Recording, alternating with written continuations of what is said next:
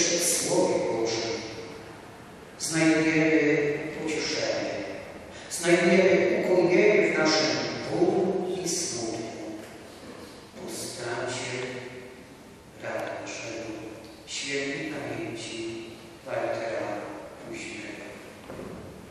Śmierć jest bowiem niepowypowaną stratą